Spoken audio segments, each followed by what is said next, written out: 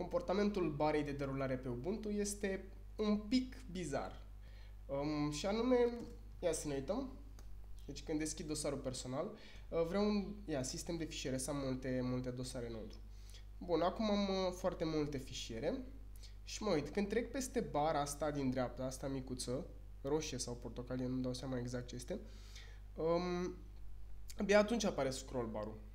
Nu e ca pe, mă rog, alte sisteme de operare. Um, trebuie, apare numai când, când treci peste și abia atunci poți să o apuci. Și acum pot să apuc.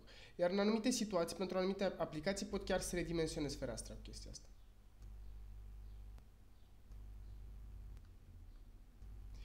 Bun.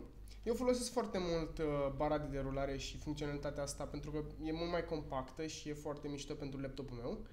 Numai că nu este tocmai intuitivă și am vrut să vorbesc cu un minut sau două și despre chestia asta. Ok, pa, pa!